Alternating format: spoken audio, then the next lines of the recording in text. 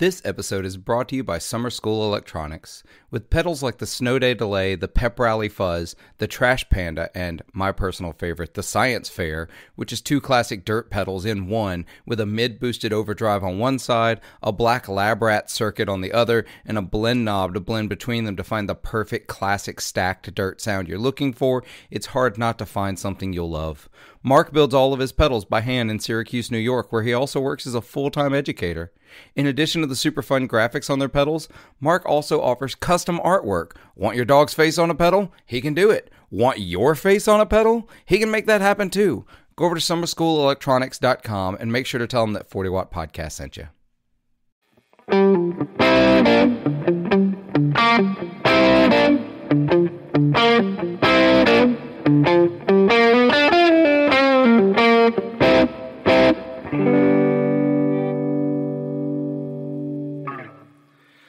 Ladies and gentlemen, welcome to another episode of 40 Watt Podcast. My name is Phillip.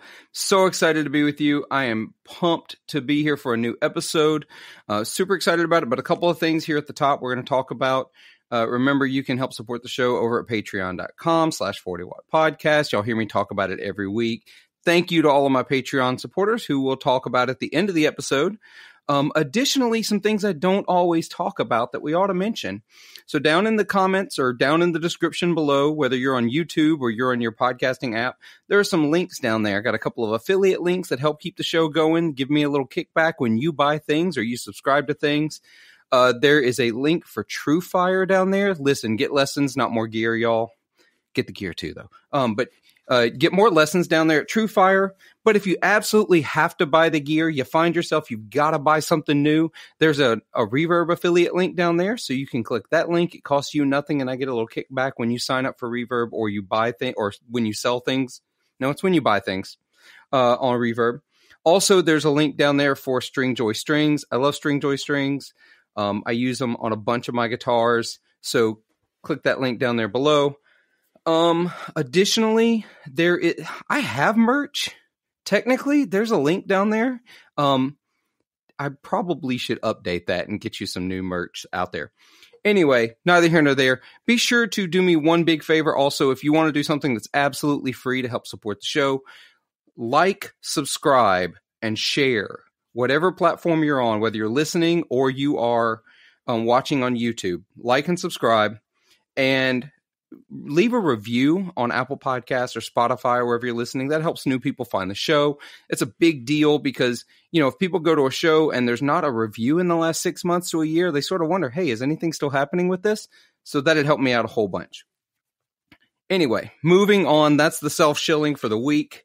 This week, I've got a YouTuber, podcaster, well, gonna be podcaster. We're gonna talk about that.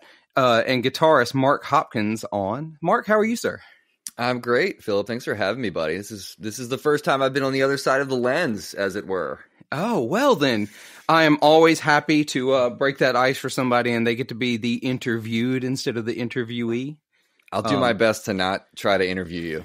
oh, it'll it'll be actually those ten, those make the best episodes though yeah, because know, yeah. it, it's so much easier. To, so like uh, with this podcast, I've had a lot of other podcasters and YouTubers on the show, mm-hmm. and and some people are like you should get more players. Well, first of all, if you want to get me in touch with some of these players, I'd be happy to. Uh, I'm sending out messages. Sometimes they just don't get returned. But besides that, I find that people that also do this tend to create the most engaging conversations because yeah. you're used to talking. Oh, and I talk all day for work too, man. That's like oh. what I do for a living. So it's like I, I, have been blessed with the gift of gab, as many people have told me in my career. Um, so it's it's it ain't no thing but a chicken wing, as it were. I mean, I, I'm I am definitely down to gab, and and especially about music. Uh, you know, in particular, I feel like there. I mean, I talk about it all day because I work for a music school, but mm-hmm. um, but I, you know, it's like that's the easiest thing for me to talk about. I'm not going to talk about Nasdaq on here. I don't know. Anything about that. that's good because I'm lost. Like at that point, once, once we once we get into that stuff, we start talking all the acronyms. That alphabet soup is way lost on me. It's it's it. funny you do this though, and somebody gets on there and they ramble on on for a story for like five or six minutes, right? And they're like, "Oh man, I'm so sorry I rambled on." I'm like, no, no, that's the point keep keep talking. There, don't don't apologize for talking too much on a podcast. That's, yeah, that's the. I mean, as far as I'm concerned, alone. Let's just keep on doing it, man.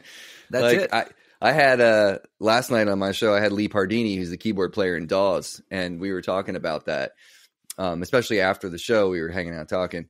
And at one point, he's like, "I'm sorry, that was a long-winded way." I was like, "Dude, you could have talked for the rest of the show, and I would have been completely happy and content. Like, you have everything interesting to say, and I'm very happy to sit here and just soak up the knowledge." So I'm all about it. Um, but I really do. I appreciate you uh, asking me to do this. It's this is super fun. Yeah, no, super rad. So let's let's take a step back for just a second. Um, it's it's sometimes weird to spend a lot of time on this with somebody who is out here in this space, but let's do it anyway because we need to know just in case by some fluke my listeners don't know who you are. Uh, give a little bit how you got into this whole scene, how you got into music. What's up? So I, from a very, very young age, um, was pretty entranced by music. I would say mm-hmm. um, I'm the black sheep of my family. Like my brother, I have an older brother and an older sister. My sister's eight years older than me. My brother's four years older than me. So pretty spread out. So like yeah. we weren't super close growing up. You know, makes sense. Um, but my brother, who's the middle child, was always listening to music. Like if he was sitting in his room, he would be playing like FIFA on his PlayStation, listening to the Grateful Dead or whatever. And you know how it is. I mean, I, I grew up kind of idolizing my older brother. I mean, I sure. I played basketball because my older brother played basketball. I played lacrosse all the way through, you know, up until college because my brother played lacrosse. Like everything, I kind of followed and I stole his t-shirts out of his drawers. You know, I wanted wore them to school. I wanted to be cool in middle school wearing a Grateful Dead shirt. Um, so like I, I was kind of always into music, but like the Beatles were definitely my uncle exposed me to the Beatles. Okay. Pretty young. Um and I think he because he's a musician, I, I, think he saw something in me like that I could, you know, sit at a piano and figure out a melody pretty early in my life. Um and that kind of sparked my interest in like music in general. But then when I heard this is a story I tell all the time, but like I was playing NBA jams in my buddy's bedroom and it was probably 1991. Mm-hmm. Um, and he put on Nirvana's Nevermind, and I was like, "Oh, this is really cool," you know. And then he said, "I'll never forget this." He was like, "Oh, if you like that, you'll really like this." And he put on Pearl Jam's 10. Oh yeah.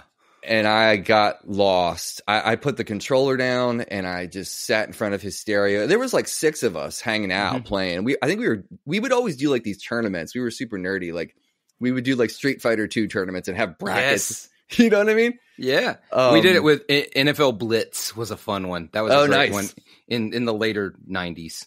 Nice. Nice. That's super fun. I mean, I, I loved those moments. I had a really great childhood. I, am not gonna. I mean, I had a lot of opportunity given to me. Yeah. As a white man, I will identify and and you know and and basically just admit to that. I had a lot of opportunity because of that. Um, and I grew up in a really small town and I had a great neighborhood I grew up in. But at that moment in my life, that specific moment was the catalyst to launch me into playing guitar. I immediately went home and I told my parents I, I want to play guitar. I want to get a guitar. And he let me take 10 home and I put 10 on my brother's stereo in his room and I sat and listened to 10 twice all the way through. Wow. Didn't do anything else. I just sat on the carpet, listened to 10 twice through. I mi- I miss those it. days when we did that kind of thing. You know what I mean? And mm-hmm. I don't mm-hmm. I don't know if we as a culture have left it or if it's just I and my friends that I know have left it. I don't just sit and listen. I listen while doing other things. I don't sit and just actively listen. Uh, now I am an albums guy. I'm not a I'm not a singles guy. I want to hear an album. I want to hear it start to finish. Um, but in fact, to this day, there are some of my favorite albums of all time that I couldn't name the songs on them, but I right. know what track three sounds like. right, right. Mm-hmm. You know what I mean? Especially if the lyrics are harder to understand. I, I don't even know the the chorus because the, I have no idea what he's saying, but I love the music of it a lot of the times you can't understand what that man is saying. Yeah, exactly. Right That's hundred percent. That's why I thought that was really relevant uh, for a long time. Like my favorite band of all time is the Black Crowes, and my favorite album of all time is Southern Musical and Harmony Companion. Oh yeah, uh, Southern Harmony and Musical Companion. Oh, I get that backwards too in my head, but I know the titles of some of them. and I know the lyrics to most of them, but there's still songs that I have no idea what Chris Robinson is singing. Right. They're like I nothing there makes sense to me, sir. But it totally. sounds great. It sounds great. So, uh, yeah. So I we left that behind. It feels like nobody. I think it was uh, it was just last year that Adele like went to Spotify because their default like you click an album in Spotify, the default play button used to be shuffle. Mm. And she was like, "No, I put these songs in an order for a reason. Yeah, have it start at the beginning." Yeah, I was like, at least somebody's paying attention to that now. I 100% identify with it as a as a songwriter who writes and has released a lot of albums. It's like it's it's very intentional. Like it's calculated for sure. Like when I'm if there's going to be 8 songs on a record, like my last record, mm-hmm. I sat down and I was like how is this going to flow? Like how do I want this to feel like as you take a journey through, you know, these 50 minutes of music or whatever. Yeah. Um so I 100% identify with that. There is a purpose to it. Now, I will say too, releasing records is expensive. And like I don't have yes. a label, so I mean like, you know, and that's why the last the last thing I put out was a single because I was like if I'm going to put all this money into it, I'm going to do something big with it. So I I we went down my band, I took my band down to Nashville and we recorded the single in the Wood Brothers studio. Oh, that's rad. Yeah, and Jano uh, Rix, the drummer from the Wood Brothers, produced it, and it, it was a it was an amazing experience. Like I, I, will cherish that forever. But um, you know, that's the odd exception is like yeah, doing yeah. a single like that. But you know, mostly, I mean, even like, dude, like just going back, like af- after I got the guitar and after I started shedding and taking lessons for a couple years and working on my craft, and then I started to discover songwriting because I was a big Paul McCartney fan. Blah blah blah. Fast forward playing in the grunge era. I get into jam bands more in high school, listening to Phish and moe. and the Grateful Dead and all these groups. And then I start touring in a jam band up and down the coast, um, all throughout college and stuff. And in fact, the band that I was touring with is now back together, and we hadn't oh. we hadn't released music in 20 years, and we just got back together. Um, That's awesome. So we're doing that again. Um, but that band toured extensively up and down the East Coast, opened up big festivals and all that stuff. Um, so we're doing that again. But ultimately, you know, my path led through doing that, then, you know, getting married. My wife was going to go to get her doctorate in Boston. And I was like, what the hell am I going to do in Boston? I don't know what I'm going to do. So I applied to Berklee. She didn't get in. I got in. and and I was like, "Do you want to move to Boston and have an adventure?" And she's like, "Yes, I do." So we were we didn't have a kid at that point. Mm-hmm. We moved to Boston. I went to Berklee and ended up getting a job with Berklee, uh, which I still have to this day, 13 years later. Um, and now I'm and then when the pandemic hit and my gigs shut down because I was playing yeah eight to twelve times a month, you know, oh, wow. live yeah, music. busy. Yeah, I, I, was real busy, man. Um, I was hustling hard. Um, a lot in the beginning, it was a lot of out of necessity of monetary reasons, you know, with like sure. keeping the roof up and the food on the table. But, um, you know, as my wife started to like climb the ladder because she's a smarty, I didn't need to be as, you know, prolific with my gigs. Still writing and, and, you know, recording and doing session work and all that stuff. But when the pandemic hit, man, I was like, I just hit a wall and I'm like, it feels like a part of me was ripped out you know. Yeah. So I was like, what can I do? And I was like, well, I like talking about music. I do it for my job already. Um, I thought I would do it once a month, and I I hit up Joey Landreth, who's a who's a friend, and was like, "Do you want to be my first guest?" And he was like, "Yeah, man, let's do it." And I did it, and then I sent a bunch of emails out to all these people, Charlie Hunter, who I took lessons with before, and Ariel Posen, and, and they all said yes. And I was like, "Oh crap, I'm gonna have to do this at least once a week." right? because I sent out so many emails and like this because my connections were so it was so cool because Berklee offered me all these you know ways to connect and and weave a web. Yeah. Um, and, it, and that really did support me in getting my thing off the ground. And I, in the beginning, the first season, I did two a week. Phillip, I did one. Wow. On like a Tuesday and then one Saturday morning every week for the first six to eight months of me doing a podcast. Yeah, and my and poor that, that's how you ended up with this massive backlog of videos. That's There's yeah. there's a ton. I was I was going through them trying to find some highlights and you know getting ready for this. I was like, let me go through and watch some of these again, or maybe some that I hadn't watched because you have a lot. I haven't watched all of them. Yeah, uh, of course. But yeah, I was like, this is a lot. Yeah, and it was a lot of work too, man. Like, oh yeah, you know how it goes. Like a lot of prep, a lot of like digging in, and luckily, like I'm a nerd enough that I am like super in the weeds with every artist that I love and whatever. But, um, but poor Terry, who does my art, he uh, he was like, dude, we can't we can't do two anymore. Because he he does it out of the, the, love in his heart. Like we're really good pals, and he was like, yeah. I want to help you, and um and he continues to like each week like i send him the picture he does it and i was like are you sure you don't want me to like learn photoshop and i can just take it over? He's like no i like being involved. So so he's i love him. Big shout out to terry. He was he's been a big supporter. Um awesome. so and that and then you know and then we're sitting here. Like it's just basically i'm i'm back to gigging um i'm back into the studio working on releasing new music and trying to do that. I feel like I've been going to see more live music recently, which has been amazing because I, you know, didn't for so many years. My I have right. parents that are in their 80s, dude. I've I've been very careful during COVID. Oh uh, yeah, I don't, want me to be the reason one of them dies. You know what I mean? One hundred. That's heavy. it's, it, it is. It's real heavy. Uh, actually, I lost my mom during COVID, and, oh, and not sorry, to be man. not to be real heavy, but it wasn't too COVID. But I definitely did not see her very much in those last few months because I was afraid of that very thing. So yeah it it's heavy. It's it was a hard time. It was a real tough time. So I totally, totally. relate, dude. hundred percent. And like all, I was telling my wife the other day, like all the music that I've written in the past year and a half or so has all been mental health lyrically related.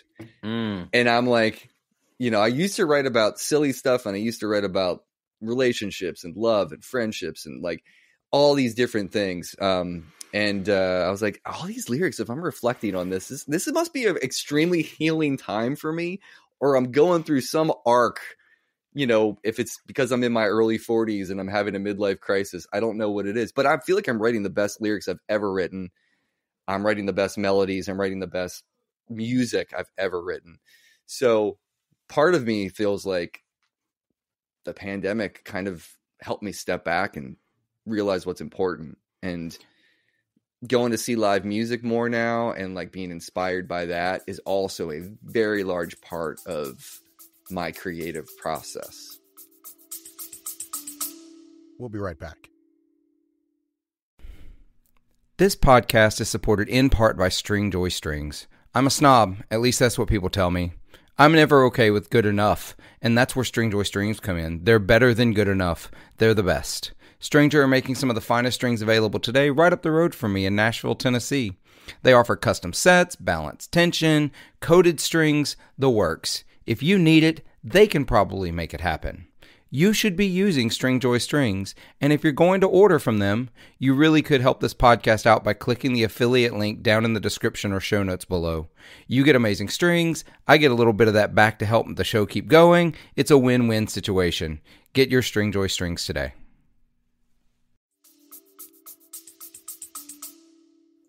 Yeah, so. see, I I totally relate uh, in that I actually had had like my gigging had eased back even before the pandemic because I had moved and so I didn't have my, you know, band near me and you know, most of my gigs were blues cover gigs or pickup gigs or and that was fine. It would to me that was what I really enjoy doing. Uh, although I, I, I write not as much as I want to. I need, you know, like four more hours in the day. I keep saying I need four yeah. more hours in the day to get everything done because my day job keeps me very busy. Um, and but I had already started to ease back on my gigging because of that, and then all the gigs vanished, and yeah. and then I I battled like vocal problems, and I'm still battling a little bit, but I finally found the cause of them earlier this year, and so tell me about in... that. Tell me about that. I'm curious because I so, I've had a similar thing. Well, mine was well. I've always had just because I've always been an aggressive singer, not like in a like I don't know like hardcore metal kind of way, but I'm right. just an aggressive singer and a loud singer. And I probably wasn't using the best technique, and I probably drank more whiskey during gigs than I should. so you you know what? All these things are adding up, right? Right. Um, but it actually turns out. So I used to be really into weightlifting Uh, used to be really into, you know, I've always been a big guy, and I'm fine with that. That's whatever. Um, uh, but like I got, you know, played football in high school, was going to play football in college, but I shattered my ankle and just, you know, took up guitar instead. Actually, that's how I ended up playing a lot of guitar. Was I broke my ankle and was on crutches for three months. So what did I do? I sat in my dorm room or my bedroom at home and played guitar. Um, because I had only taken guitar up, I don't know, about six or seven months before I broke my ankle. So, uh, so that that that was how I ended up down this road. But then, you know, got healthy, started working out again. You know, health bounced back and forth, but I stayed lifting and running, and I got really into running in my last few years of college. Uh, even though I was never fast, I just really enjoyed distance running. I've run a couple of marathons at this point, a bunch of half marathons. Nice. Well, that's fine. And so the problem is that I've discovered recently, I have always used like supplements. Like when I was weightlifting, I would use things like creatine or protein powder and stuff like that. Um, and then when I did running or when I did more aerobic stuff, I used things like pre workouts for the little energy boost and, and whatnot. It turns out, as I've discovered early this year, I have an allergy to certain pre workouts. Wow. And that was what was shredding my voice. Dang. Yeah, it it took it took finally doing a whole process of elimination thing to, to weeding things out of my diet and my um just daily life before I figured out what it was. Wow. And that was what it was. And so I discovered that in late December or right at the beginning of January when I got like severe vocal pain. Mm, Actually, man. it is part of. I went through a longer. I, I always I tend to take a break in the last part of December for the podcasting. I say tend to. Now I'm in my third year, so two times. Mm-hmm. Um, but I take a break in late December, try to get started back in January. I had to take a longer break in January than I wanted to because I was literally in pain to wow. talk. So I don't know. I'm about 65% now, 70%, which is really way better than I was. So yeah. I'm hoping to start gigging again. But yeah, not having those gigs in my life, man, that was a rough. That's a rough spot. My yeah. my my wife knows. She's like, no, no, no, you need to play music because you're a terrible person when you're not. yeah, I know that story. you're you're an awful person when you're not. So working on that, working on gigging more, trying to write more. That's a big deal to me. Like I've also discovered I'm not a good solo writer. Mm. Um, I'm just not. I can start some things, but they're just going to sit there as fragments unless I sit down with somebody else and like help me flesh this out. Like, yeah. or give me an idea and then I can flesh it out. Like, I, I can't do the solo write thing very well. I, I have just a handful of songs out of the hundreds of partial songs I've written. Right. That I, that I actually have held on to. But just trying to get back in it, just like you, you know, just trying to find a way back in it. But I am in I'm in I don't want to call it musical desert because it's really not, but it is I'm in a small town in East Mississippi. Like going to gigs isn't as much of an option unless I want to go hear the same three country cover bands that play at the bar downtown. You know? And uh-huh. I, I uh-huh. just don't. I, I, don't need to hear Wagon Wheel that bad. Right. I just don't.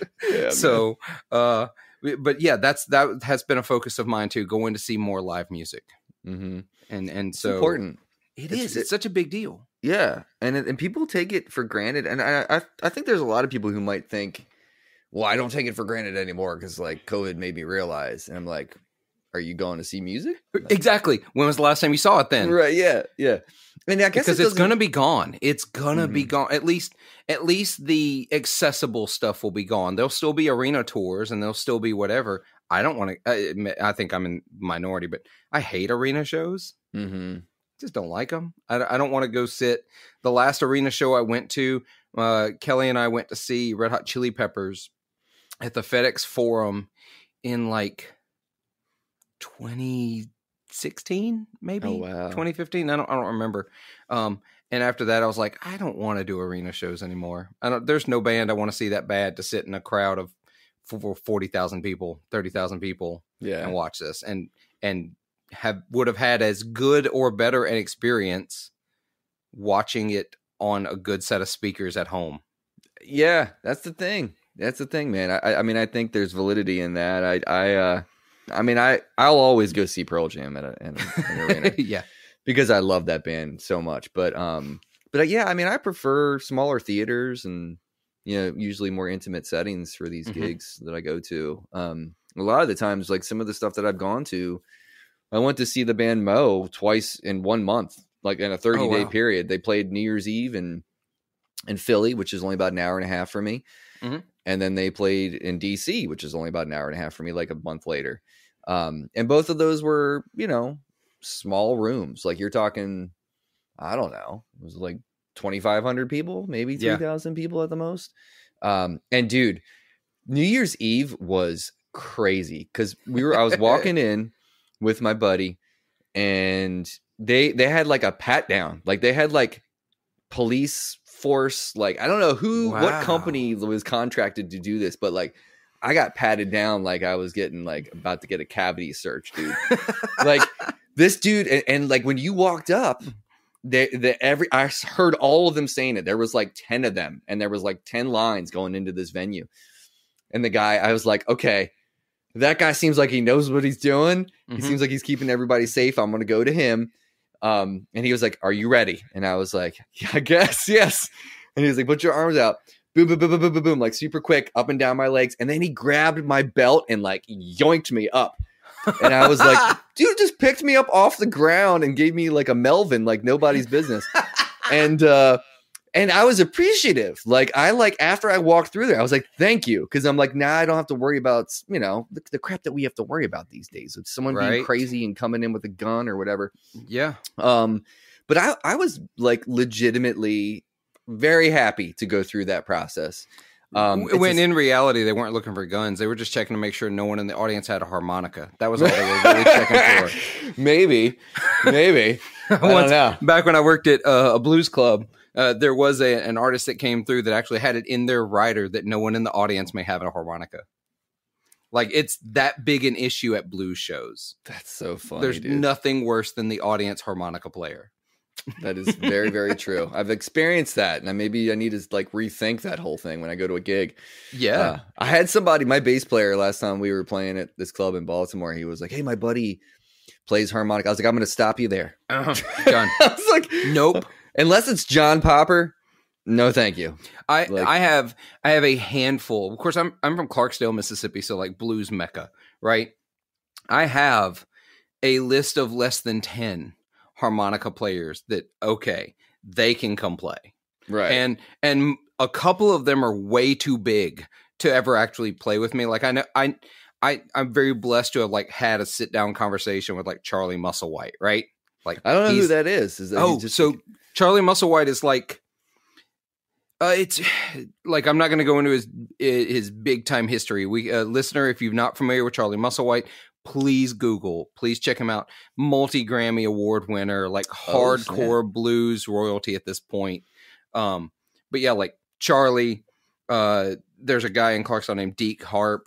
Uh, Harp is obviously not his last real last name, but right. Deke. Uh, there's you know there there are these guys I know um, then I'm like, no, no, no, they can come play with me. But like random guy off the street playing harmonica, uh, mm-mm, mm-mm, no, not gonna work. Because right. when harmonica's played well, it's an incredible instrument. Oh, but yeah. when it is played badly, it's like a three year old with a violin. Right. And it's and awful. No shade to like, you know, Neil Young, because Neil Young's a great harmonica player, but like he he's not like a, you know, picking the right notes out using his tongue and like doing the thing like no no. he's bob he, dylan in it you know? It's like it's yeah. that kind of thing. He's playing um, harmonica. He's not playing harp. Right. And that's the thing too is like when you see those cats roll in um and if you see somebody roll in with like a you know a tweed like a small tweed like a champ and like a bullet mic or something cool i'm like all right this cat knows what he's doing like or at least know. they know the right tools. Right. We're but, we're halfway there yeah, but I yeah I can see that. But now here's the thing though, like I will always if I have a friend who says, "Hey, there's this killing you know tenor player, this alto player," yes, I'm like for sure they are welcome to come up and sit in. Trumpet, I'm always leery about because trumpet is an instrument that it's very hard unless you're like Benny from Lettuce or you're like one of these cats that just blows his, his mm-hmm. butt off. Like it, it's a it's a tough instrument. It's not palpable like a sax is. You know what I mean? Uh, yeah, yeah, yeah. It doesn't. Um, it, it, there's a smoothness to saxophone, even when it's played ag- aggressively. There's mm-hmm. a smoothness to it. Now, I will say with trumpet, if a guy walks up with a trumpet and they've also got a mute, yeah, with them, they're gonna play. We're, right. we're gonna get. Once again, you brought the right tools. You know, right. you know how this works. Yeah, so totally, dude. We're halfway it's, there. Yeah. I, I, used to host a jam at Ground Zero Blues Club, the blues club that I worked at for years, and I used to host a weekly jam. And you start to learn the signs. You you see the players. You and then someone once asked me, they're like, "How do you how do you get these players who've never even met each other up and piece them together to to make a you know cohesive you know decent musical experience?" I said, "Because you do this long enough, you realize who you can mix to make this work." You're right. like you can tell almost immediately when someone gets on stage if they're comfortable. Mm-hmm. If they if they're comfortable, hey, um, the this guitar player, or, or especially if it's a drummer gets on stage and they feel super, I can tell they're super comfortable. I'm like, oh, we can make almost anything work here. I can, oh, yeah. I can get, I can get a lot of first time players up for this. Or if the drummer's not very comfortable, I know that I've got to get the most rock solid bass player that's in the place. Mm-hmm. Somebody's got to hold this down. And yep. so it's you start to learn to piece those things. So you learn to recognize the signs of the confident, uh, competent players. Mm-hmm. Uh, it's it's it's it's it's a weird skill to have, right? It's a mm-hmm. weird skill. Yeah, that's you know that's musical maturity. That's getting to know music. Period. Yeah. Um, you know, and people too, I guess. But yeah, the drummer thing is, uh, man, it's it's a hard it's a hard thing to find somebody that can work with you constantly because if they're good, they're going to be so busy. Yes. You know what I mean? It's like I've got a couple guys that I use, and one guy in particular that I I love playing with him so much, but he's in a band here that just when when festival season starts kicking off, he's not available. Yep. That's that's one of my guys that that I that he was the drummer in my first one. I decided I wanted to play as a trio. And I was so spoiled to have him as my drummer in a trio because I normally you get in a trio and you become a better guitar player because you have to fill so much sonic space. I did not. Mm-hmm. I, well, I, I, became a better in a lot of other ways, but like he filled so much space without ever being too much, and he held a groove like nobody's business. Uh, I still think he's top three drummers I've ever played with. He's probably number one, but I'm trying to not just be definitive. I'm trying to right. leave room for some people, but but um I got real lucky. Uh, a fraternity brother of mine, who's a, a, drummer, just moved back in state. So I'm like, nope, d- nope, nope. I'm locking you down. Don't don't join any other bands. You don't have time. I'm going to try to make sure you don't have time. So nice, nice, nice. Pin them down, man. Exactly. Yeah, it's tough. Like playing with a good rhythm section. I mean, because that's what I do here. I, I mean, I well the the other band, the jam band I play with, is a five piece, but my Mark Hopkins and the Pretty War is my band, mm-hmm. and that's a power trio. Um, yep but I also play keys in that band, so I get to kind of float back and forth between guitar and keys. But it's man, when you when you get a good rhythm section, there is nothing that you can't do as a trio. Nothing. That's it. Nothing. You can you can go anywhere. You mm-hmm. can. It, there's so much harmonic ground, and, and especially like uh, if you've got a bassist who understands harmony and holds things down, and like because there's so much freedom to roam and that's what i got in that trio that i played in because i'm playing with a bunch of guys who grew up playing in like church i don't mean they played in church i mean they played in church right right, right like right. that's what yeah you know what i'm talking about those kinds of players yeah. like mm-hmm. the whole service is music and it's all improv yep. so they're improving for like two hours straight that's the players i played with and so i i I was exploring jazz and jam band stuff and all sorts of stuff during that time in that in that with trio, and they would just lock it down, and I could explore sonic space and go awesome. anywhere I wanted, and they would always still be at home, and I'd be able to come back. Yeah. It's it's weird. It's a weird thing. You think it's easy. Like somebody would think, oh, it's really easy for a bassist just hold a groove and not go anywhere. No, no, no. I played with so many bassists who you start to explore harmonic territory. They start trying to follow you. Yeah. And I'm like, I don't, no, don't do, no, no, no, no. Yeah. I need you to, I need you to be home base. Yeah. Because I'm not going to be. yeah. Totally, dude. Yeah. yeah. I mean, it, I mean, as long as the rhythm section, as long as you know where the one is, we good. Exactly. Like, That's it. Know, it's, it's definitely a hard thing. I've played with some cats where, you know, you have to feel like you're the band leader and it's exhausting. It's it's emotionally exhausting, physically exhausting, and orally exhausting. Um, and I think that sometimes when you get into that headspace, that's why I like there's a couple cats that when I play with them, man, I get I'm so excited leaving the house. I'm like, I'm gonna get home so darn late. I'm gonna be walking in the door at like 3 a.m., but I don't even mm-hmm. care. Like I gotta get up at six to get my kid out the door for school or whatever it is. But I could care less because I'm my endorphins are gonna be pumping so hard. The dopamine is gonna be pumping and keeping me awake enough to get home, and then I'm gonna crash hard. Yeah. Um, but it, it's it's so beautiful. Like there's been times where you know you you lose sight of that. You play with you know a rotating cast of people on the gig before you're like oh, that was that was a it was an okay gig right and then you show up for the next one and you got the, the two cats that you want to be playing with and everything goes right because they're seasoned players they're people exactly. that like know what's going on and they know you musically well enough that if I'm doing some sweetly sweetly, they know exactly where I'm going. You know what I mean? Right. Like yeah. know exactly. Like I, I, don't even have to. It's like telepathy. You know. Yep. Um, and I love that. In those moments when that stuff happens, it, it's just there's nothing like it. Like I could never explain. My wife will never understand what that feeling is like. Mm-mm. Um, and, and I always say this, but it's akin to, and I'm not trying to downplay war, obviously, but like it's right. like being in a foxhole with you know a, a, fellow soldier and going through something together. And this like this music is nowhere near that. Terrible. No, no, no. But it's once you go through that. I mean, that's why my band is called Mark Hopkins and the Pretty War because like every time you get on stage, it could be a disaster. It could be a beautiful, even if it is a disaster, it could be a beautiful moment. You know, right? Um, so it, it's just I love the danger of music, especially improvisational music, which is why I gravitate towards it because it's like standing on the edge of the Grand Canyon and you're just on your heels and your toes are over the edge like the whole time. I want it I want that feeling. I want to feel like this could fall apart at any minute.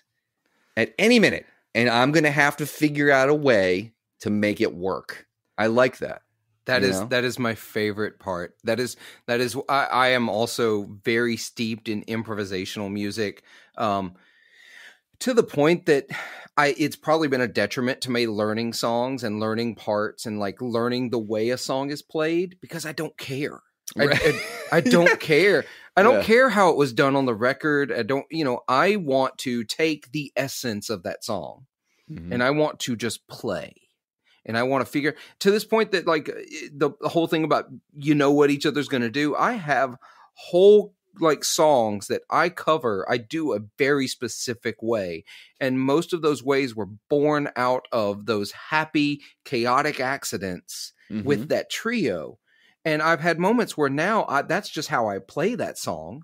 Like if you go, come hear me play, like we do, we do some covers. Like I'm just, I'm gonna throw some covers out there because like blues cover gig, you there's some standards you expect. Like we do superstition, you mm-hmm. know, that's a that's a standard. I I do it in a way that's not normal. Like right. most of the song is normal, but there are some transitions. Like I'm going to transition in some weird places. There's there's no explaining that transition to someone. There's just mm-hmm. doing it. And totally. it's I, I have had so much trouble getting drummers to get these transitions that just came naturally to to the band I was playing with before. And or I do um Ain't No Sunshine When She's Gone by Bill Withers, which is mm. one of my favorite songs of all time. Um, it's very if if you think I'm gonna play it, the Bill Withers is is real up and down. There's not a lot of swing or or rubato or movement mm-hmm. in his version. There's a ton in mine. It moves and it breathes a little differently. Yeah, and so if you come into my band and you expect me to play this, you know, straight up and down the way way it is on the record, you're you're done. We're we're we can't do this. That's right. why I get picky. I'm so picky about drummers. Yeah. Man. Um. Yeah. Anyway, that's a whole other thing about drums, and I wish I could play drums. I, have I've actually done a couple of gigs on drums, and I tell people that I am I am a literal last call drummer. um, literal. Get and, off and the that, bench, folks. Yeah, that means you can't cancel. Like you tried to cancel first. Right. you don't come to you don't come to me and say if you don't play, we'll have to cancel. No, no, no. We couldn't cancel, so please come play drums. Yes, that's yes. that's where I am. Save the day. Um, Put your cape on, Broseph. Exactly. That's Yeah. that's just the way that is. But I I love that chaotic feeling of of I don't I don't know how we got where we are now in in a song and then you're in that okay, how do I get back? Like how do we rein this I I love that. And actually one of the greatest compliments I've ever received completely unearned. I'm just I'm going to go ahead and say that this at the top. But as a friend of mine whose opinion on musicality I really respected was was at a gig I was at. He said, "You know," he said, "your playing really reminds me sometimes of Jeff Beck, and who Jeff Beck's like was a massive hero to me playing, and like I'm still bummed that I'm never going to get the chance to see him live. You know, that was like a I never got a chance to do it. Um, but I don't play anything like Jeff Beck. I'm just going to throw that out there. Not, not even in. I'm not. I don't play the same sport, let alone in the same ballpark. Right. Um, but he said there's this edge of chaos, this edge of things falling apart, this urgency that gets into your playing when you're really in it. And he said that's what reminds me of Jeff Beck's playing. I was like, that was best compliment. Heck, Yeah, second man. second best compliment I've ever received. And so we're gonna we're gonna stop there. done.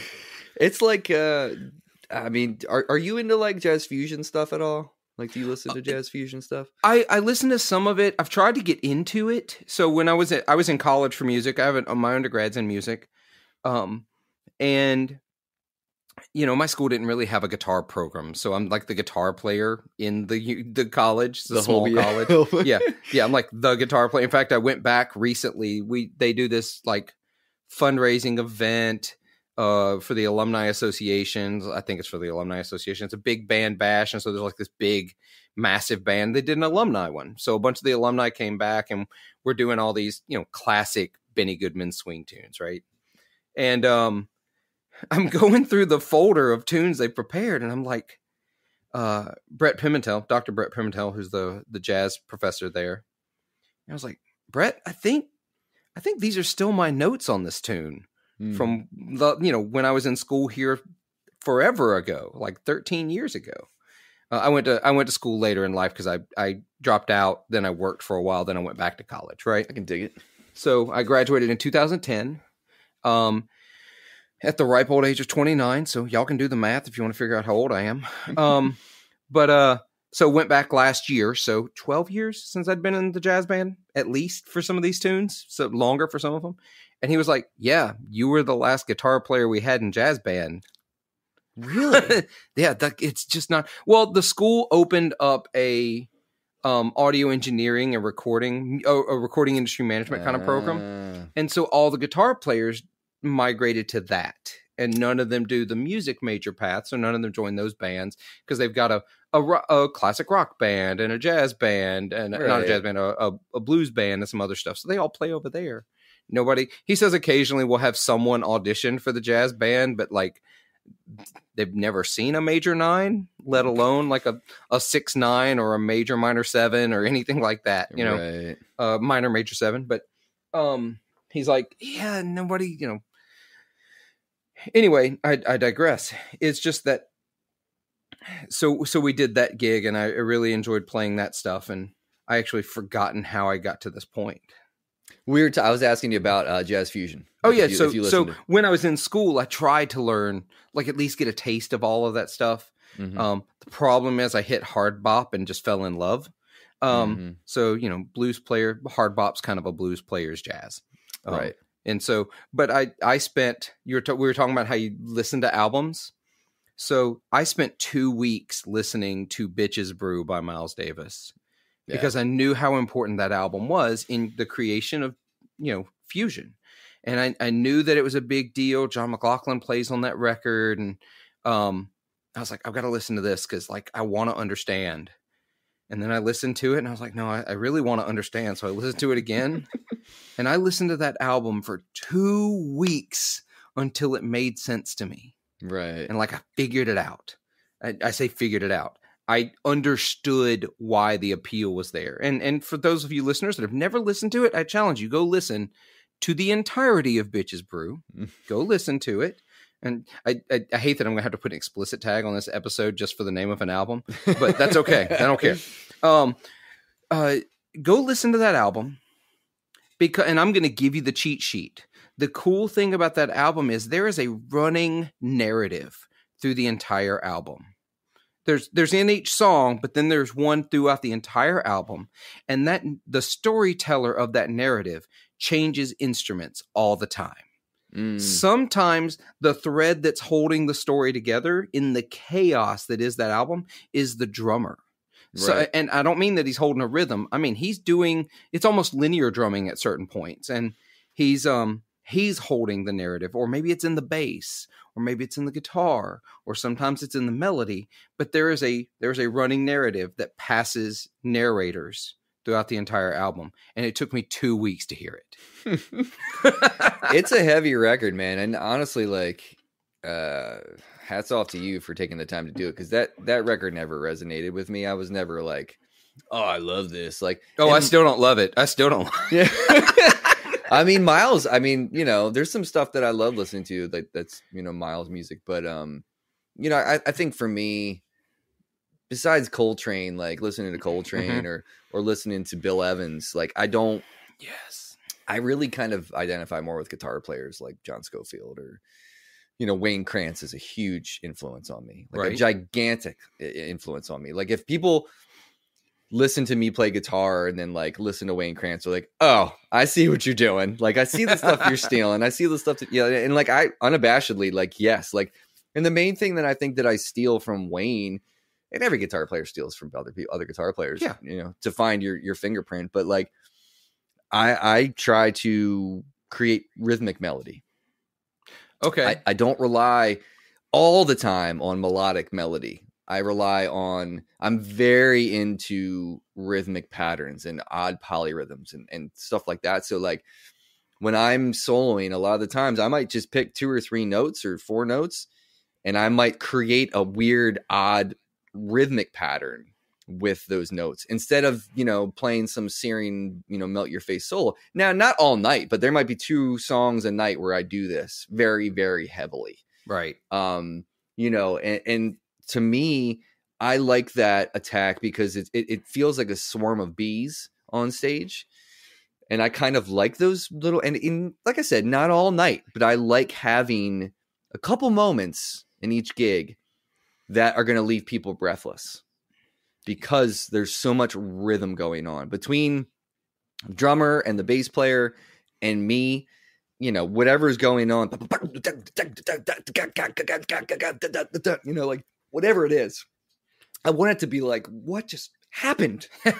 it's well, it's that tension and release. It's the same thing they teach you in music school. It's like you're building that tension, and I love things like that. I I do something similarly, but I learned it from a totally different place. You know, I learned it from blues players who would do the repeated phrase thing, and mm. and blues players a lot of time, if you really like, if you, for you for you a hardcore um, musos that want to, you know, you, you, guys are like the the notating people, and you want to actually understand solos. If you're not one of those people, that's fine. It, I get it. I totally get it. Um, but if you really trust me, but if you like really dive into the way some of these blues players play, they're they're outside rhythm and time. They're outside of harmony, like a fifteen percent of the time. Like you, you can't put it in your nice little neat notation. Like right. we had to invent notation to be able to write down blues music. Um, but like some of them hit these phrases and do that same thing you're talking about. Like, okay, you're you're in four, or maybe you're in twelve eight, or whatever you're in, and you hit instead you hit a lick that's um, almost in five, and mm. now you've got to sit there for a certain number of measures. I'm not going to do the math, y'all. I'm a librarian, not a mathematician. Yeah, for it to loop around, and so it's going to be tense until that resolve comes back around and it builds mm-hmm. that tension and then release and i love that it's it's again that chaos that that feels so good it feels good because it resolves mm-hmm. and i think you know i, I you know who I, I, learned also learned that from very heavily because i do play drums as well uh-huh. but vinnie Colaiuta if you listen to sting's um, record 10 summoners tales not Listen, heard that one, but I need to now. Oh man, Uh, Vinny Colaiuta plays drums. I believe on that whole record. I could be wrong, but I think he plays drums on that whole record. But there are tunes on that where he is playing in five or he's playing in seven, but he's he's wrapping it. He's wrapping oh. the beat. Oh. So it's like, what's a good example? Um, there's a song in five. It's called Seven Days. It's funny because it's in five. But, yeah. but like the groove is like, boom, boom, boom, boom. But wait, the way that Vinny's playing with it, the beat is kind of coming back around and it's wrapping. It's not like a squared off thing. Yeah. Um, and and I think that's another cue I took from listening to music, like listening to albums, like we were talking about, is like, mm-hmm. What can I take from not the guitar player and not from Sting? Like, what is the drummer doing? And like, yeah. why is that interesting? Like, that's something that I think a lot of musicians are are wackadoo about. Like, we all like analyze stuff way too much. Um, I don't have perfect pitch, but I can imagine someone who has perfect pitch at a show. That must be the most annoying thing. If there's something somebody's out of tune or whatever it is, you know what I mean? Um, but what is beautiful about analyzing stuff is is like don't just pay attention to the instrument that you play. You have something to learn from every single person that is in that record. You know. Yep. Um, and I and I treat a lot of the music that I consume in that sense. Like if I hear because most of the time, like I don't gravitate towards guitars. I gravitate towards the drummer a lot. Yeah. Um, and if there's a groove that feels good, like I could listen to um like the meters all day on repeat just because of Ziggy. Like I could listen to that groove all day. Like I could listen to Robert Palmer sneaking Sally through the alley on repeat. Yes. All day I, and be happy. Actually, you know? on on Saturday, I had to drive to a gig, and it was a it was a pretty decent distance. And the whole way, all I did was listen to the very best of the meters on repeat. It's what an incredible record. Yeah. I mean, it's, there's so much music and there's so there's there's depth to the to that music that people kind of surface layer don't really identify. Yeah. Um, oh, every everybody so. covers Cissy Strut, but when but like and and I cover Cissy Strut just like everybody else. But then listening to it on that trip, I was listening to it almost for the first time again. I was like, because I'd gotten so used to, oh, I play this song, I know this song, no, I was listening to it again. I don't know this song. Right. I, it's right. It's like, oh yeah, you know the melody, you know the chords. When was the last time you really listened to this song and, and got heard, inside it? Yeah, you know? and and heard all the things that you never do because you didn't hear them when you were learning it. Mm-hmm. Now you've played it for a little while. You go back and listen to it. You're like, oh, there's an accent I was missing, or oh, and, and sometimes it's as quantifiable as you know, oh, he clips this note short where I'm sustaining it longer and I really shouldn't because I'm losing something. Or sometimes you're like, uh, I remember the first time I realized that Hotel California had a reggae beat. Right. Um, you know? Yep. I thought I knew that song until I was like, shit, it's a reggae song? Yeah. Yeah. yeah. So it's like, I, yeah. I know. I know. It, and, and if you listen to the meters, like, really listen to the meters and you listen to a song like People Say, like mm-hmm. there there's just so much going on in that tune. Um and that like listening to the meters is a rhythm guitar player's doctrine. Yeah. It's just is. And you know, we don't even play the Cissy Strut like the meters version. We play Sco- like Scofield's version where yeah, he, he modulates to A flat in the B section, which because I just love it. It's super nerdy. Um, but it, there's just so much that we can all take from that music. I mean, I dude, I listen to so many different styles of music. I'm going on the radio to do this thing where I'm taking over this radio station for an hour and playing music that I'm currently listening to, and I'm getting interviewed about like what's oh, going rad. on. And um, I was coming up with the list of songs and stuff, and I was like, "Holy crap, this is all over the place!" Like, there's just so many different bands and so many different styles of music. I mean, I went back to pull a Matthew Sweet song out. I went back and pulled there's this Canadian band that not a lot of people know about called I Mother Earth. And they put this record out in 1996 that is one of the most forward thinking rock records. It's almost like there was they were like a rock band, a Canadian jam rock band. Like Yeah, I'm- before Umphrey's McGee was doing what they do. Oh wow! So Um, like uh viewers, you know that my face. Uh, I was pulling up my phone so I can pull them up and listen to them later. So here's the thing. I Mother Earth's record. Their first record is called Dig, um, and it Mhm. was okay. The album that I'm referring to is called Scenery and Fish, and it is hard to find.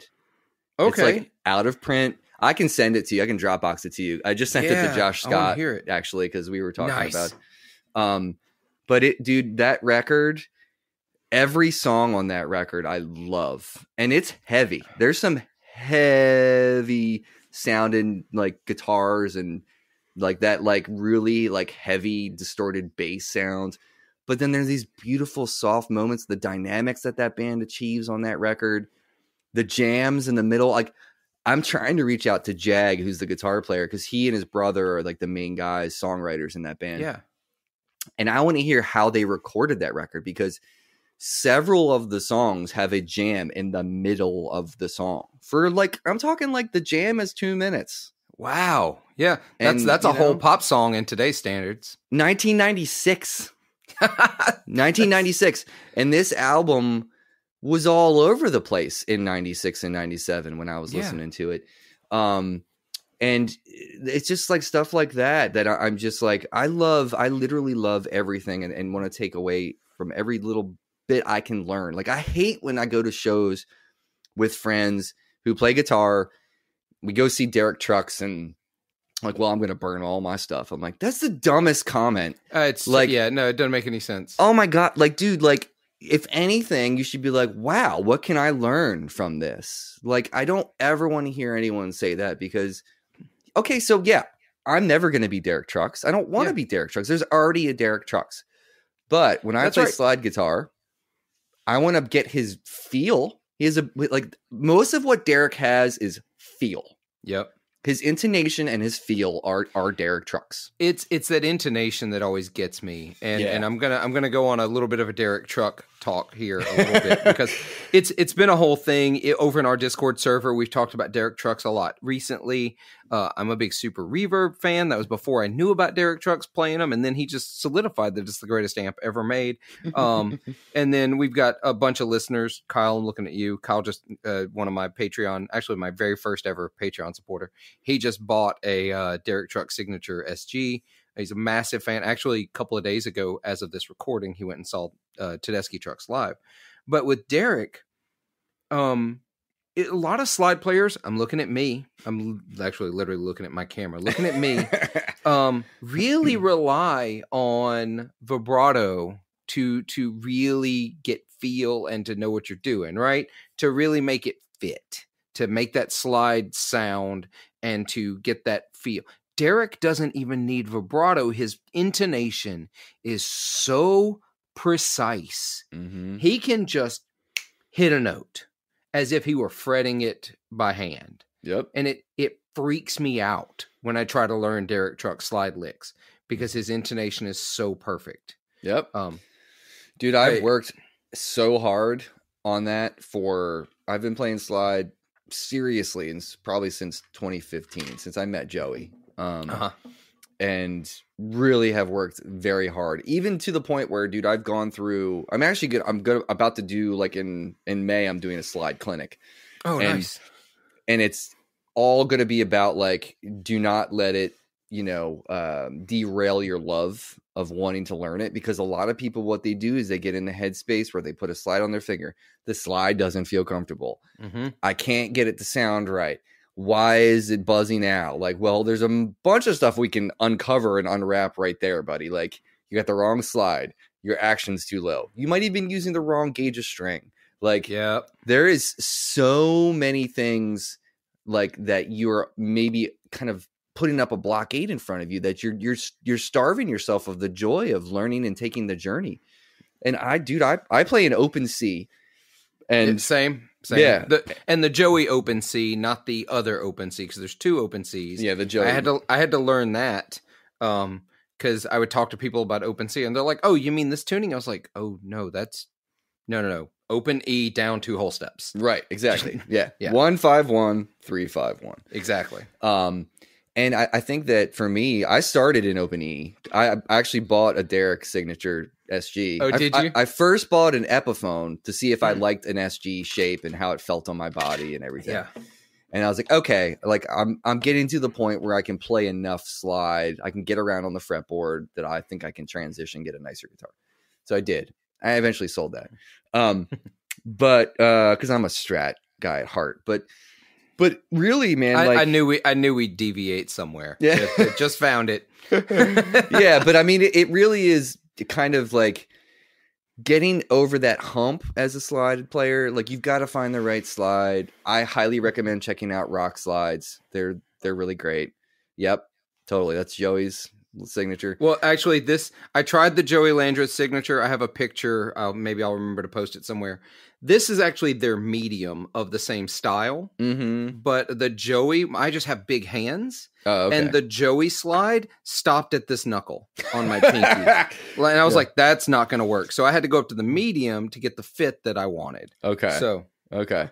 See, yeah, I I, switched. I actually, I actually Facebook messaged them and sent them a picture of it on my hand, and they were like, "Yeah, that's not going to work." So we recommend this size. So That's good. Yeah, they're awesome. Their their customer service is great too. it was really Um, good. But like, get a get a bunch of slides. Like, I mean, you know, like I prefer brass now because if I drop it, Mhm. it won't break. Mostly. Um, but I bought Derek's signature slide, the big Coricidin bottle thing that they put out Dunlop. Oh, yeah, Too big, way too big, yeah, yeah. I can't do that. way too big. But I use I primarily use Ariel slide now with the ball tip. Um, You know, that's one I've it. been wanting to try. I've been really wanting to try that one. Um, I am uh I, I need to just order one. It's not like they're expensive. It's a No. slide. Yeah, Yeah. it's like but I was like I love I love anytime I get to talking about slides. So I'm going to I'm going to share the Let's ridiculous slide collection here. Um so I've got the, you know, the actual end of a bottle that somebody cut for me. Nice. We have a we have a, a local guy here in Mississippi who makes um what does he call them? I can't remember what he calls them, but like he puts them in a lot of the music stores here in Mississippi. He literally, you know, cuts bottles and and puts them out That's there. awesome. But then I've got like, you know, the three different sizes of glass. Yeah, I've you got, got, to. You got to go through all. I've got that one that back when uh, back when I was a ring finger player. Mhm. Um, I've got this one, the Dunlop. I think these are both Dunlop. Actually, they're just different gauges of Dunlop. Yeah. Um, there's this one, which is actually cut from a piece of pipe that a blues player made for me. Nice. Um, uh, this is the most ridiculous slide I have. I actually had one kind of that shape too. It was made of bone. Oh, yeah, same company. I think. I think it's the exact same company. This is the most useless slide I've ever. It was a gift. Uh, it, hey, you play guitar? This would be really fun. No, it's not. Um, this is this is maybe I don't use this anymore, but I used this one for a long time. This Is is chrome? Actually, this. It, do you remember the old like? Yeah, we're about the same age. So you remember when you were a little kid Mhm. and you'd go over to your grandparents' house and they had the little folding table they'd put out as the kids' table at Mhm. Thanksgiving dinner. This was cut from one of those legs. nice. That's like- awesome. Yeah, this is cut from an old like folding table leg, and I love it's super light, which I don't like as much anymore. But Right. um, I liked something light there. And then uh, my fa- this this was my favorite until I, I broke it. Obviously, I'm not putting that on my finger anymore. But oh man. um, this uh, a buddy of mine from Japan uh, who comes to the Mississippi Delta every year cut this for me, and um, he had written he he he started calling me, and y'all, this is I did not call myself this, so there's no ego here. He called me this. He he would always call me expert, like guitar player, like Right, expert right, right. guitar player. It's like I'm not, whatever. But he's super nice. I love it. His name's Ey, and um, but yeah, he wrote in Japanese the word for expert on the side of it oh, that's cool. in in whiteout, so it's starting to fade. But uh, yeah, like the slide thing. I've been.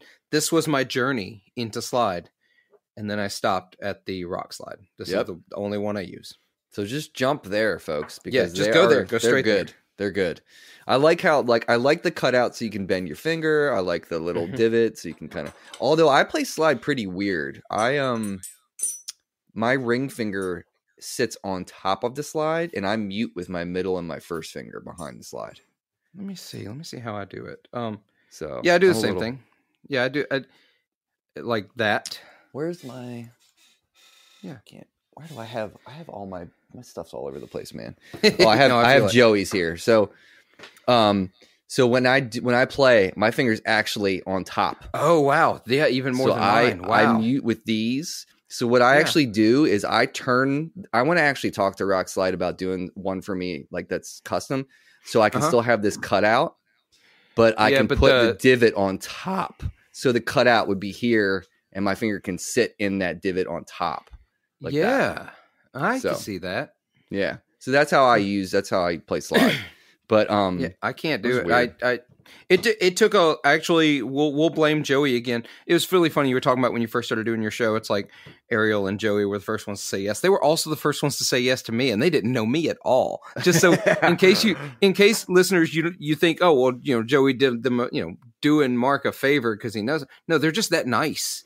They're ridiculously yeah, nice. nice. Uh, Ariel said yes before anybody else had ever been on my podcast. That's awesome. So so um they're Canadian. Uh, I, yeah, they're they're great people. But yeah, thanks to you know watching those guys play and realize they were doing the pinky thing instead of the ring finger thing. Mm-hmm. Whereas I had developed all this control over, you know, 18 years of playing slide on my ring finger. Right. Like, okay. But I, I understand the advantage of playing with it on the pinky now. I'm going to retrain myself. And it has been a struggle to retrain myself with the pinky. It's an awkward finger, man. Like the pinky yeah. does not want to cooperate unless you really kind of put it to work. It, doesn't. But eventually it happens. You know, people just need to and and I think, you know, for all intents and purposes, like you can use any finger you want, man. Like Oh yeah, no, absolutely. Bonnie Raitt, doesn't she use her middle finger, I think? I think so. And like the, the reason I really saw the advantage, even more than electric playing, because electric playing I was fine either way. I I still don't do very much behind the slide playing. Like I'm not really great at that. I I'm also playing my actions too low. My strings aren't heavy enough, so that's why. Mm-hmm. But um, I play dobro, and I play the dobro I had at the time. Actually, I can't remember now. My dobro I have now joins at it's a 12 fret dobro, so it joins at the 12th fret. So if I want to get that octave it's a lot easier to get to that 12th fret with my pinky yeah than it is to try to get to that 12th fret with my ring finger because then I've got a whole part of my hand that's got to find a new place behind the body to hide. Okay. So, yeah, switching to the pinky made 12 fret dobro play duolian style dobro playing a lot easier. So do you mean are you playing like a round neck resonator? Yeah, round okay. neck resonator. So not like a square neck with a bar kind of thing. No, okay. no. I've, I've I've done that too. I've still got my bar around here somewhere, but I don't own a square neck anymore. I I do not have that. There's there's just something about that that made my hands cramp, and I was like, you know what? I can do this on a round neck. It'll be fine. Yeah.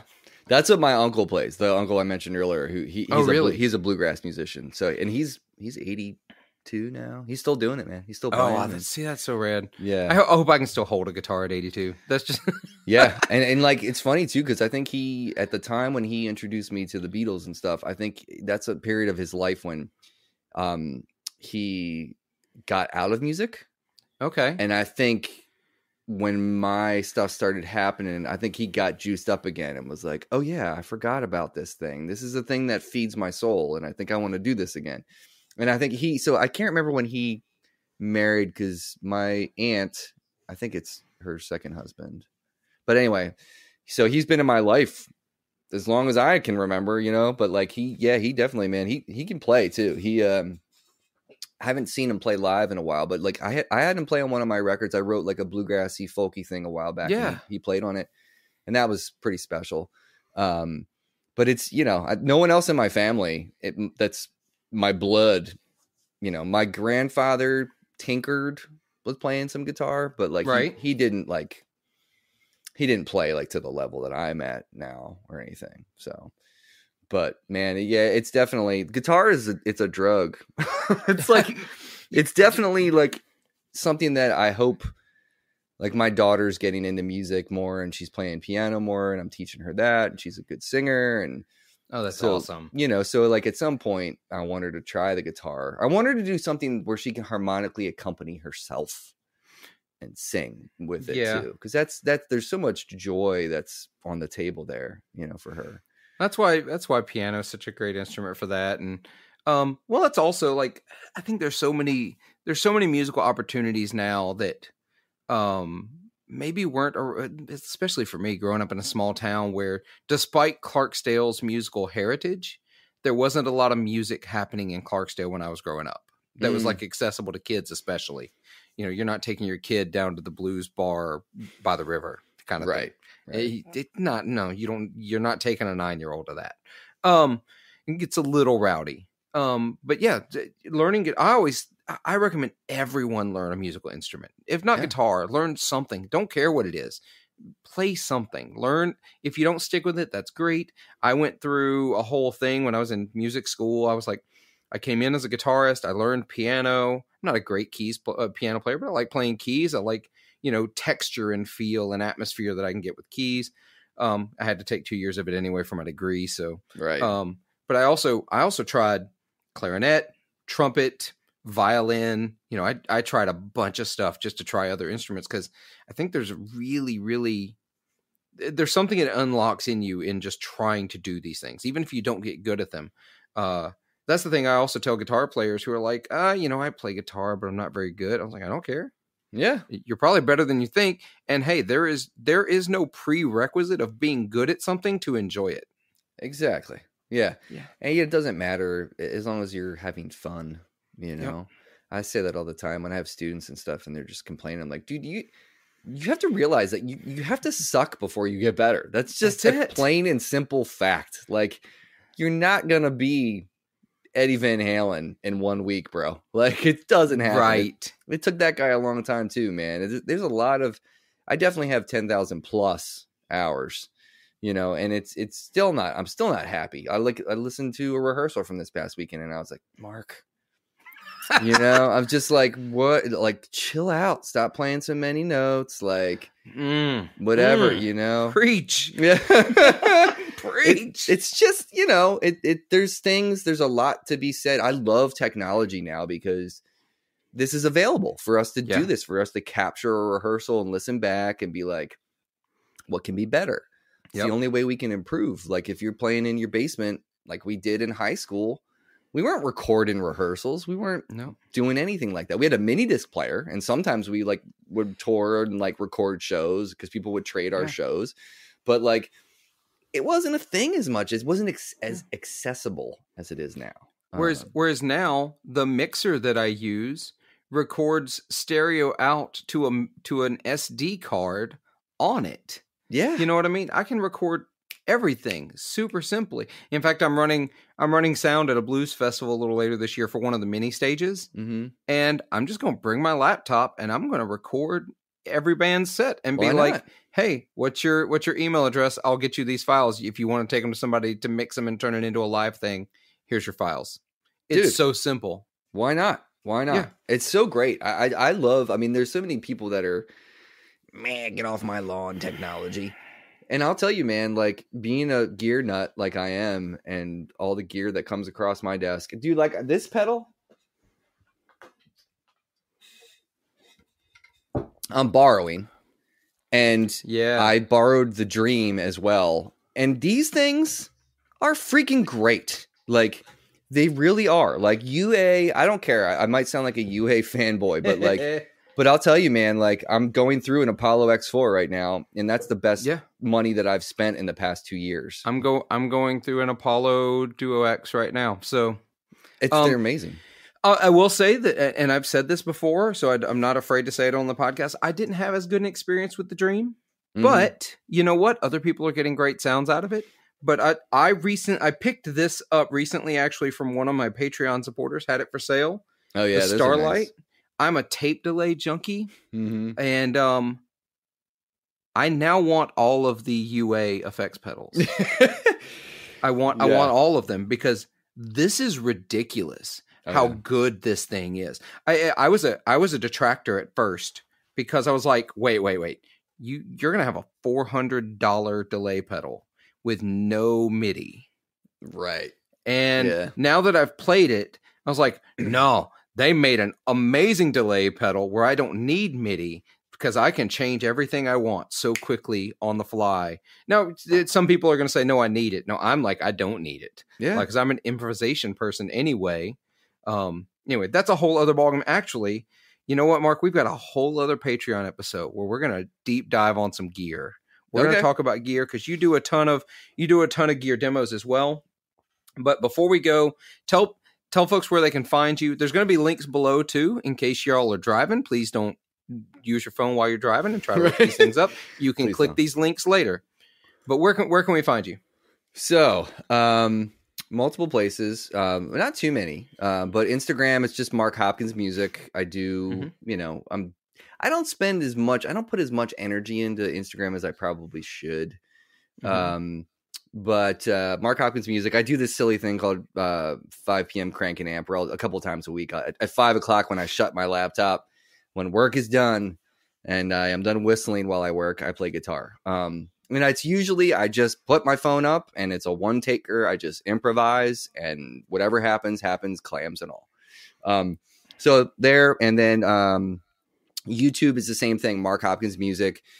I do a weekly demo um, of some kind of gear, or I do a guitar lesson, and then every week my podcast is called At Home with Mark. So I have guests on every week. Tons of people have been on. Charlie Hunter, talk about Tedeschi Trucks, Gabe Dixon, who's the keyboard player from Tedeschi Trucks, people like that. Um, yeah. Ariel Joey, uh, Oliver Wood from the Wood Brothers, Lee Pardini last night from Dawes, like tons of amazing people. A bunch of the guys from moe, um, other jam bands. I'm sorry, I'm becoming like the jam band guy, which is kind of neat in a way. Yeah. Um, but I have a lot of a lot of people from like Dopapod and um, Lotus and uh, um, several other jam bands, Eggy, some other cats like that. They're all going to be on too. So I'm enjoying it. I'm having fun. Um, once it stops being fun, I will probably hang up my uh, my revolvers. But until then, it's feeling good. Well, that's awesome. Well, like I, like I said, all the links are going to be down below, so you can just click them, follow, and while you're at it, uh, if you're a first time listener or if you're a long time listener and first time viewer, all those things, click subscribe, bell, follow. There's a bunch of other words for all, all the, the different players. Do all the things. Uh, rate and review. Remember, please rate and review, y'all. Especially, uh, especially all of you who are my Patreon supporters who give me so much support. I hate to ask you to do one more thing, but if you could rate and review, if you haven't already, that would be super helpful. But here's my opportunity to thank all of my Patreon supporters by name. I used to call out, uh, even as of last week, I called out the amount that you're a subscriber. I'm going to stop doing that because there's they're starting to stack up a few of y'all, and it's starting to take a while to say all the names. So I'm just going to say names now. So thank you very much for all of your support, Blake Jefferson, Ben Fair of Electromotive Sound Company, Dan Pilver of Lewitt Microphones, Heath Batt, Alan Gresham, Andrew Hensley, Andy Koenig, Giacomo Ride. Jeffrey Walks, Jim Burns, Josh Gearkin, Kyle Harris, Nick Call, Rick Calhoun of Honey Picks, Scott Hamilton of the Effects Loop podcast, Tom Kelly, and Dave Evangelista of the Guitar Dads podcast. I appreciate all of your support. You keep this ship going. I just talk. So uh, I appreciate it. Mark, thanks so much. We're going to head over to the Patreon. It's going to be a blast. Yeah, man. Right on. All right. All right, listeners, until next week. Uh, remember to uh, be good to yourselves, be kind to each other, and make some noise.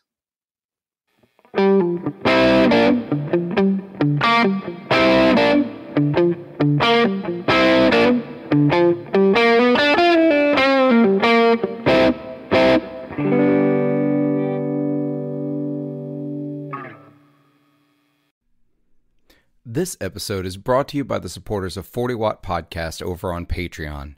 Go over to patreon.com slash 40 watt podcast, where for as little as $3 per month, you can help support the podcast and get every episode ad free. For $5 a month, you'll get every episode ad free as well as a bonus episode every week. I can't overstate how thankful I am for the support of my patrons and hope you'll consider joining the team and helping keep this show on the road.